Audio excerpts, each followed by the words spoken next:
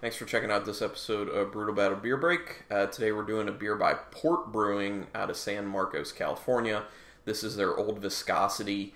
It is a. It says it's an ale aged in oak barrels, but uh, it's basically. I've had the older Viscosity before, and I believe the old, regular Old Viscosity, um, and it's tastes typically like an imperial stout. So I would view it as an imperial stout. It is 10% alcohol by volume. It's very dark, you know, blah blah blah.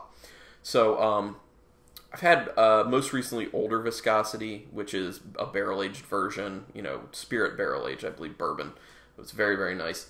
This is not that; it is just oak barrel aged. Um, but in the bottle, it's been sitting for an additional four years. Um, that wasn't when they released it; it was I got it, and I think when I got it, it was a year old, and then I've kept it for another three. So let's see how this is.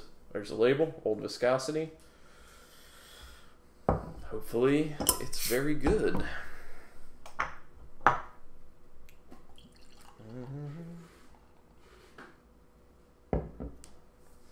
As you would assume, super dark. Uh, it's got a nice uh, brown head to it. Can't see anything through it. Some bubbles clinging to the sides. Smell it. Ooh, nice. A lot of dark chocolate to it. There's a little bit of a soy sauce aspect on there a little bit of a salinity to it, a little bit of like an um, umami aspect that you kind of get with like mushrooms as well. There's dark chocolate. If I didn't say that already, I think it did. So a little bit of a raisiny aspect on it that lets you know it is higher ABV.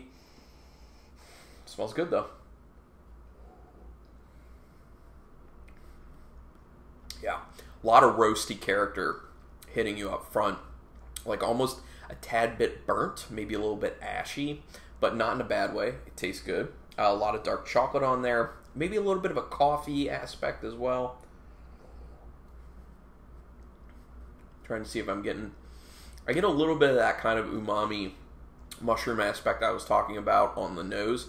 I am also getting a tad bit of that soy sauce, but both of those flavors are very dialed back. Um, not not aggressive at all. The the m- most aggressive flavors, and they're not like super aggressive. They're just nice. Are dark chocolate, that kind of co- little bit of a coffee, and um, the super roasty, almost burnt aspect. Mm. Drinking very smooth for a ten percent beer. Very very smooth.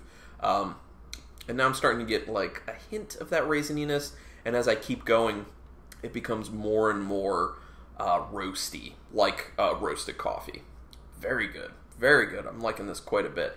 Uh, I don't know if people out there have the means to age these things for four years. Just find a space in, you know, your beer cellar or your basement or wherever, and just stick it away for a little bit because time has been very good to Old Viscosity by Port Brewing. Anyway, everybody, thanks for checking this out. Um, go ahead, send me an email, brewtalbattlepodcast at gmail.com, suggestions, comments, whatever. Uh, check out the regular podcast as well. It's just on iTunes, Stitcher, and Google Play now. Um, yeah, and uh, enjoy. So thank you everyone very much, and go have an awesome beer.